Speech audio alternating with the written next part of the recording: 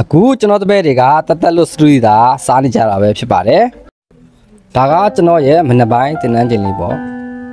တပည့်တွေလည်းဒီနေ့20ပေးတဲ့နေ့ဆိုတော့သူတို့လည်းမအားလဲကြပါဘူးကြက်ရှယ်ပဲလက်ရတော့ပါတော့လုံးဝတက်ရက်ပြီးတော့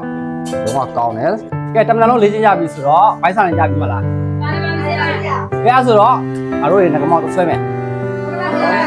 โอเคလားအဲ့ဆိုထိုးမယ် စပြီးတော့လက်ကြပါတော့မယ်ဒါကတောင်ပေါ်လမ်းလေးပါ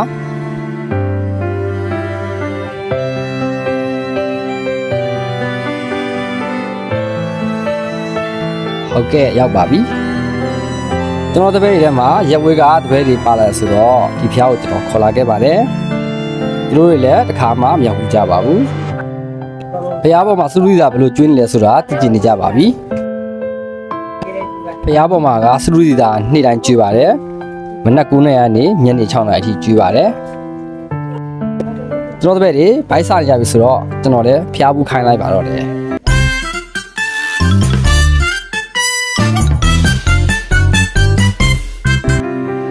စတာပါကျွန်တော်တို့အရင်ဆုံးဖျားဘူးအလှူတွေရင်လာထည့်တာပါဖျားပရမုံကလှတော့တပည့်တွေလည်းတပုံရိုက်ခဲ့ကြပါတယ် အခုဆိုရင်ကျွန်တော်တို့တွေဝါရီပေးဖို့လာပါပြီခင်ဗျာကျွန်တော်တပည့်လည်းဘိုက်စာနေပြီဆိုတော့အာမနာတန်းစားပါပြီကျွေးမွေးတဲ့သူတွေကလည်းစေနာပြည့်နေပါပဲထမင်းကုန်တယ်လည်းချက်ချင်းလက်ထည့်ပေးပါတယ်စားတာစိတ်ချမ်းသာပြီးတော့ဟင်းပွဲတွေကလည်းစုပ်ပါတယ်ခုရောက်နေတာကတော့ငကဟိုမော်လမြိုင်မျိုးရဲ့အထင်ကရဖြစ်တဲ့ငကမောက်ကြောင်ရောက်နေတာပဲဖြစ်ပါတယ်ဒီမှာဆိုလို့ရှိရင်တစ်နှစ်ပတ်လည်လုံးပေါ့နော်ဒီလိုမျိုးတက်တက်လို့ဇရုတီတာတစ်နှစ်ပတ်လည်လုံးကျွေးတယ်ပေါ့နော် မြန်မာတနိုင်ငံလုံးမှာဘယ်နေရာမှာကျွေးလဲတော့မသိဘူးပေါ့နော်မော်လမြိုင်မျိုးမှာဒီလိုမျိုးကျွေးတယ်ဆိုတာဒါပထမဆုံးမြင်ဘူးတာပေါ့နော်ခုနှစ်သားသမီးတွေအကုန်လုံးကိုဟိုစေတနာတက်တက်နဲ့သူတို့ကျွေးမွေးထားတာပေါ့နော်အရန်ကောင်းပါတယ်စံလေးတွေဆိုလို့ရှိရင်လည်းတစ်ချောင်းချင်းပဲကော့ဆင်းနေရတယ်အိမ်မှာချက်ထားသူတို့ပဲအဲအရင်ဒီလိုမျိုးအရင်ဟင်းနေဆိုလို့ရှိရင်လည်းအများကြီးပဲဒါဆိုလို့ရှိရင်တရက်ချင်တော့ဒါဆိုလို့ရှိရင်အဲရုပ်တီထောင်ဒါကတော့ပဲအိမ်မှာချက်ထားတဲ့အတိုင်းပဲပြည့်နှစ်နေရပါရတာလည်းရမ်းကောင်းတယ်ဒါရွှေဖြုံသီးဟင်း ဒါတွေကတော့ကော်ဖီဆိုပဲဖြစ်ပါတယ်ဟိုတက်တက်လို့ကိုမှဟင်းအမယ်တွေအများကြီးနဲ့ပေါ့နော်ဟိုကိုယ့်အိမ်မှာဖွက်ဖွက်ရရချက်စားတယ်လို့မျိုးပဲအရင်လည်းကောင်းပါတယ်ခုနှစ်သားသမီးတွေအကုန်လုံးဘယ်သူမဆိုပေါ့နော်ဖော့ဖော့တီတီကျွေးနေတာတကယ်မဟာအလူပါပဲနေမျိုးကိုရောက်တယ်ဆိုလို့ရှိရင်မဖြစ်မနေလက်စားတဲ့နဲ့ငကမောက်ကြောင်လေးပေါ့နော်ဟိုသူက ကြုံလို့ရှိရင်လည်းဒီမှာလက်စားလို့ရတယ်လို့အလုံးသိပေးကြပါတယ်တစ်နှစ်ပတ်လည်လုံးဒုဒုတိတာကျွေးတယ်ဆိုတာကတော့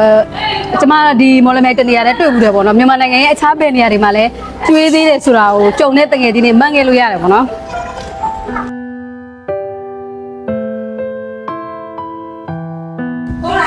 ကျွန်တော်တို့တွေစားပြီးပြီဆိုတော့ဖျားပရဝုံကိုတပတ်ပတ်ခဲ့ပါတယ်ကဲတပည့်တို့စားတာအဆင်ပြေလားဟုတ်ကဲ့ပြီးပါပဲဆရာဒါကတော့ရန်ကုန်သူနှစ်ယောက်ပါကျွန်တော်တို့မော်လမြိုင်မှာသရူတီတာဒီလိုကျွေးတာကိုအရန်ကိုပဲအံ့ဩနေတယ်မလားဟုတ်ပါတယ်ဆရာစားလို့ကောင်းလားကောင်းပါလေ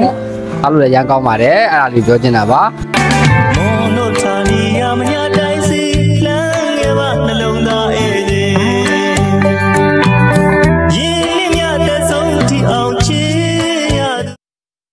စီဒီဖျားကလည်းအရန်ကိုတက်ပက်ပြီးတော့မှအသက်ဝင်လို့လှပါတယ်ဒါဖျားပေါ်ကကြည့်ရင်အရန်ကိုလှတဲ့ရှုခင်းလေးပါကျွန်တော်တို့တွေအခုဆိုရင်ပြန်ပါတော့မယ်နောက်ဘလော့မှာပြန်ဆုံသွားမှာခင်ဗျာ